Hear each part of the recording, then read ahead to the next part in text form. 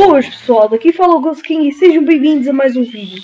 Bom, uh, neste vídeo eu queria falar um pouco sobre o Injustice uh, Gods Among Us. Uh, é um jogo parecido com Mortal Kombat, é feito pela mesma produtora, pela mesma.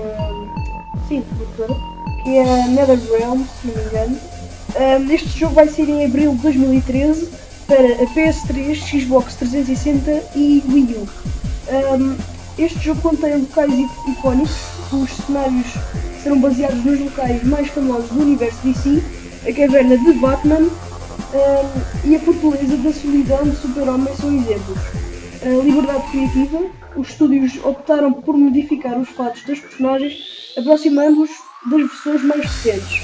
E cenário interativo, além de existente pelo menos 3 camadas por cenário, a sua interação será tremenda podem pegar em objetos, saltar de carros e utilizar armas perdidas, por exemplo.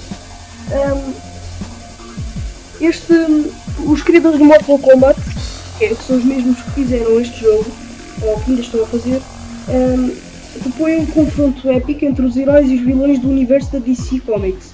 Portanto, vai haver o Batman, o Flash, uh, cerca de 20 lutadores. Uh, não mais nem menos, penso eu.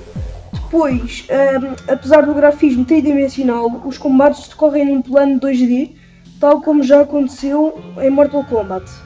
Um, os cenários serão uma componente muito importante dos combates e com várias camadas e interações.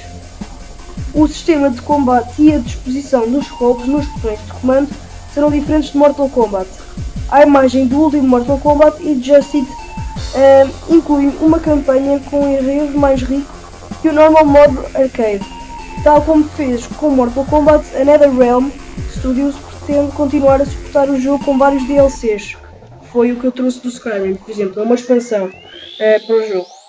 Um, pessoal, é isto. Um, eu no outro vídeo disse uma coisa mal, que era para vocês irem ao site da Big Gamer, mas não é preciso. Vão aí à descrição. Uh, no Skyrim também está. Uh, na descrição do Skyrim uh, e nesta aqui vai estar dois jogos gratuitos, que é o Star Wars The Old Republic e o um, Hocken, ok? E depois uh, vão estar aí os jogos que eu estou disposto a informar-vos, um, a fazer uma análise para vocês. E é isso pessoal, uh, o vídeo fica por aqui. Eu mostrei-vos o trailer mais ou menos para, pronto, para vocês saberem como é que vai ser o jogo. Eu acho que vai ser épico.